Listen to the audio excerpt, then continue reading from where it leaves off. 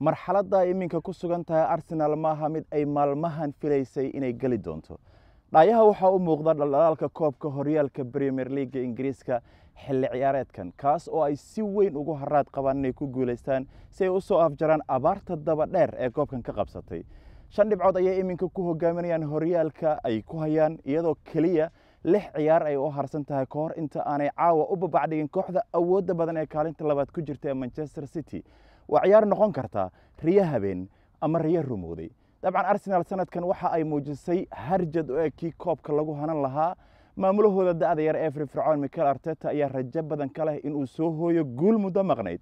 Taageerayaashuuse keliya kuma sugayaan inuu ku soo celiyo koobka horyaalka yurub ee champions leaga oo ay lix xilli ciyaareed ka maqnaayeen sidoo kale waxaa looga fadhiyaa inuu geedka keeno dhagaweyne koobka si kastaba ha noqotay hanashada tartanka horyaalka premier leaga maaha mid naxariis laysku sooro oo hadba qofkii muddo haraadsanaaba lagu hagoogo. Waa koob halgan iyo awood u baahan oo kooxo badan ay hanti iyo xoog u hurayaan.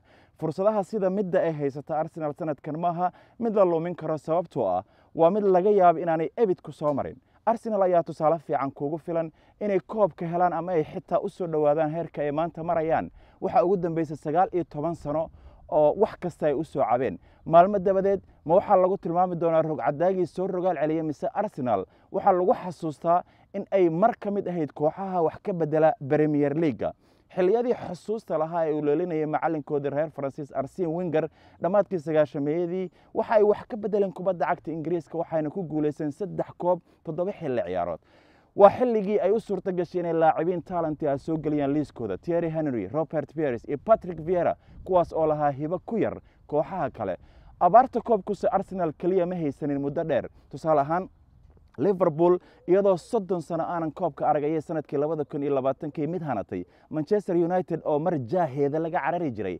Iminka toban sano koobka horyaalka ma aysan arag. Sababta ugu weyn ee united ayaamaha dilaysay waa waxaa lagu tilmaamaa in kooxda la degan manchester ee manchester city waa libaaxyada horyaalka xilligan. Arsenal waa kuwa ay iminka la tartamayso kula tartamayso koobkan. Igu soo bood maaha. City waxa ay koobkan dhagaha qabatay lix jeer tan iyo markii uu kooxda milkiyey. Maalqabeenka ka soo jeeda isutagga imaaraadka carabta afar jeer ayay koobkan qaadeen. Shantii xilli ciyaareed ee la soo dhaafay. Iminka waa ay sii laba kaclaysa markii ay soo saxiixday mucjisada shabaqa elen haalan waa laba iyo labaatan jir reer norway oo wacdaro ka dhiga carre ingiriis. Waxaa lagu yaqaanaa inuu ciilo difaacyada ka soo horjeeday inuu ciqaabo goolhayaha isagoo ku laada kubad cayn kastaba ah. Waxa uu haystaa garba ku taakuleeya duulaanka kuwaasoo hadba baas u dhiiba markuu orodka qaada tillaabooyinka xoogga badan. Waxaa ka mid ah debron jack grilish riyas maharis iyo kuwo kale halkii ay ka baxdaaba. Waa bakayle qalene waa koox ishaysata oo xilligeedii joogta oo haysata macalin layliya oo xirfad iyo khibrad leh. Manchester city lagama adkaan lix iyo toban kulan.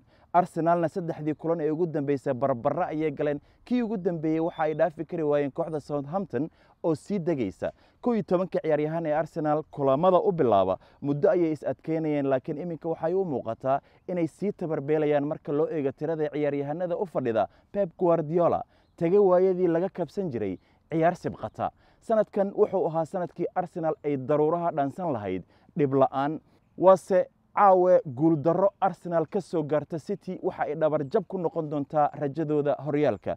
Iyadoo city ay u harsan yihiin laba kulan oo kale dhibic keliya inay arsenal ka hesho waa u naruuro. Waxaa lagu tilmaamaa kulanka caawa inuu yahay kii ugu xiisaha iyo xamaasadda badnaa guud ahaan xilli ciyaareedkan kii go'aamin lahaa hanashada koobkan yay kula tahay inuu caawa guulaysan doono. Nala wadaag saadaashaada